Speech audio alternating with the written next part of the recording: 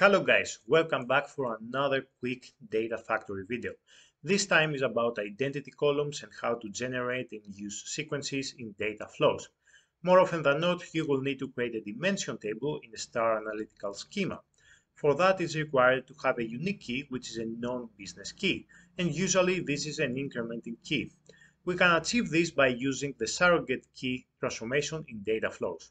However, as always, there is an issue when you run your pipeline again, the sequence will start from the beginning, resulting in generating the same unique key again, which will subsequently throw an error or cause an issue with the uniqueness of the key column.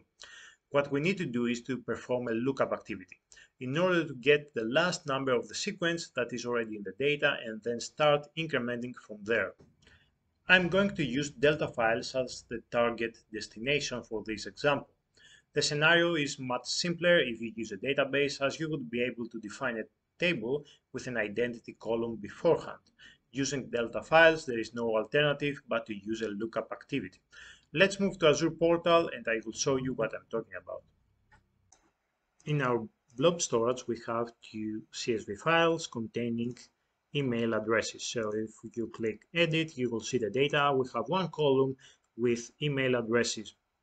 Notice address number 4, which is lpsnorwich.co.uk, and we have the same address, exactly the same address, at the bottom of the second CSV file. The second CSV file also contains email addresses, except for this last one that uh, is similar in both CSV files. I will tell you why we do that.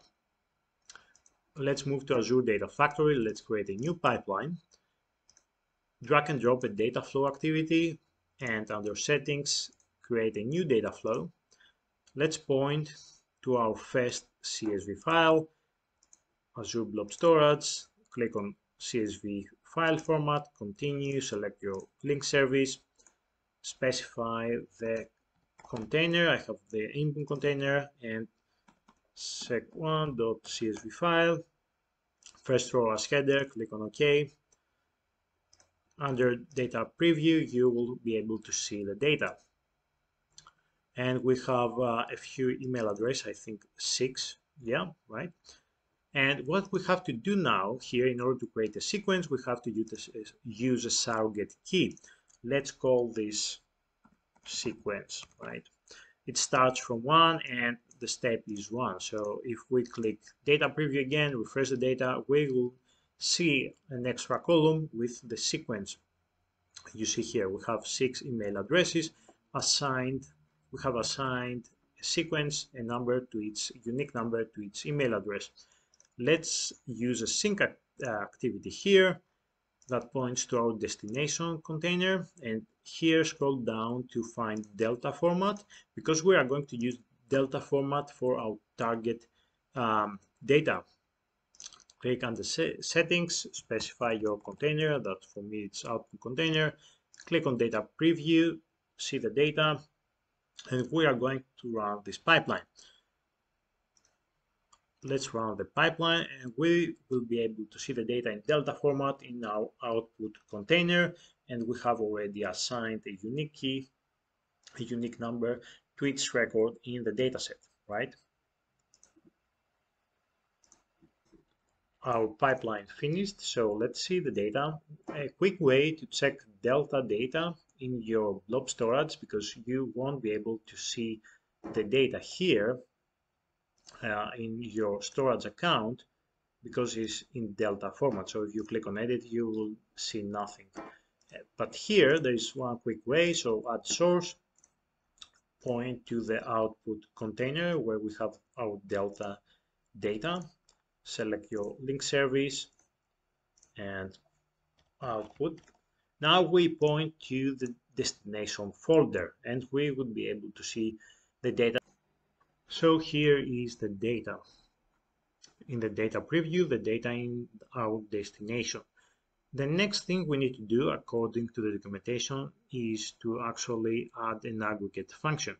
And why we should do that? Because if we run this pipeline again, this sequence is going to start from 1 and we are going to generate the same unique keys.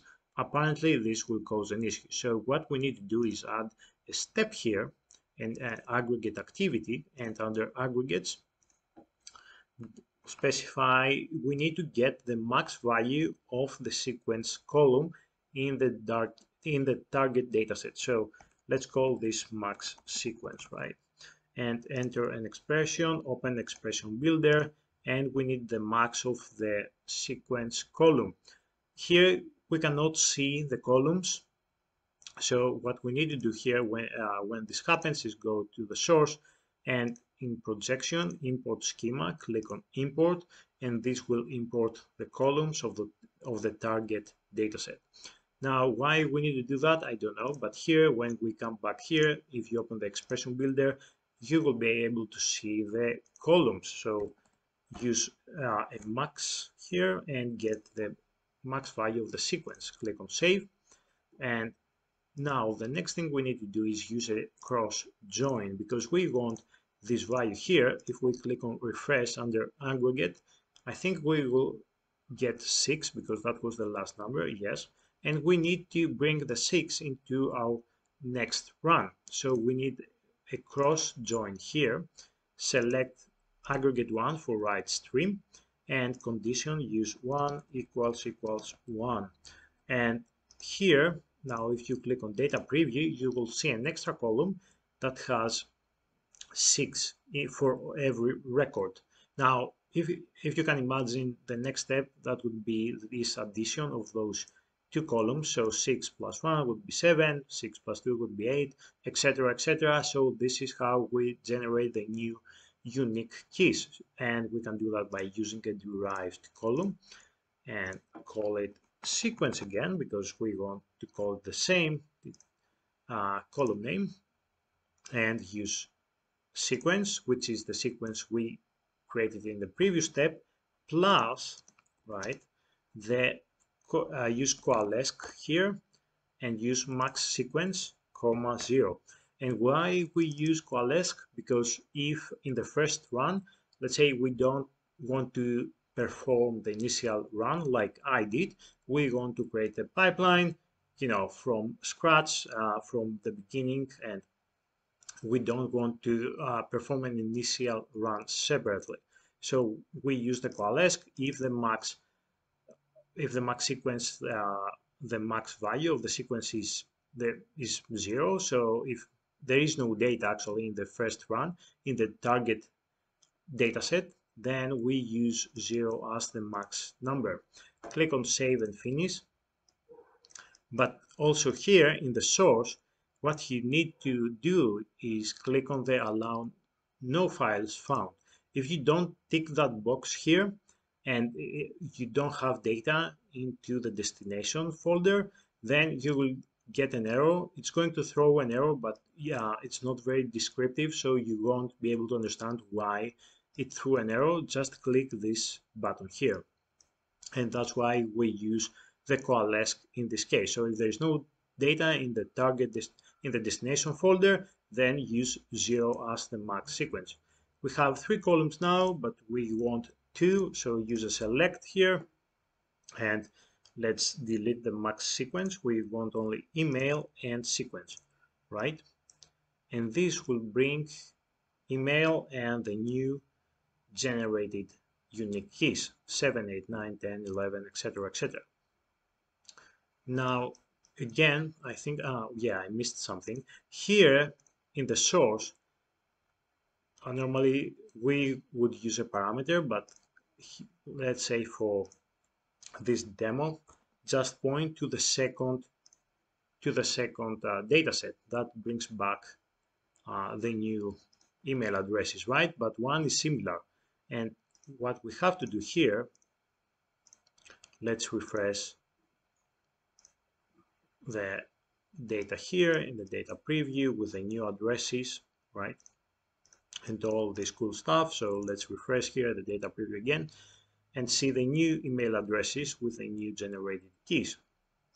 But remember, we have one address which actually is the same. It's similar in both datasets. And this address now, it has like, uh, I think three or four as an ID, as sequence in the current destination folder, but we want to update the ID. We're going to perform an upsert essential. So click on here and use alter row. So alter row and click on scroll down, use upsert if, enter condition, that would be if the condition is true.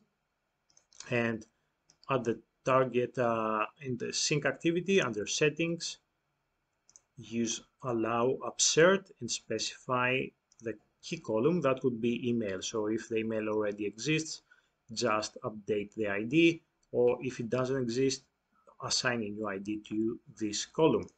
And I think we are good to go. So let's publish that and then run the pipeline again and see what happens, see what we get. Our pipeline runs successfully. Let's see the data again into our destination folder. So here under source settings in the output stream name, just change the name because otherwise it uh, you know it it casts the data it caches the data. So just change the name or something to get the updated data.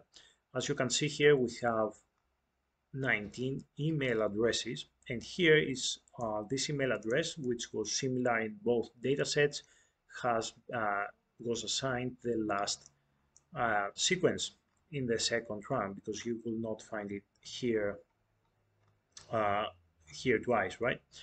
So this is how you use the alter row and upsert. Now you apparently you can use this. Uh, well, it depends on the scenario and uh, the requirements of your task. This is it for today, guys. This is how you create and use sequences in Data Factory according to the documentation. In case you're wondering what happens if you populate dimension tables simultaneously, then I recommend you run your pipelines sequentially, otherwise you will have an issue. As you can see, there are limitations in this approach. However, I believe it's useful to know. If you found this video insightful, click the like button and subscribe to my channel and I will see you in the next one. Thank you.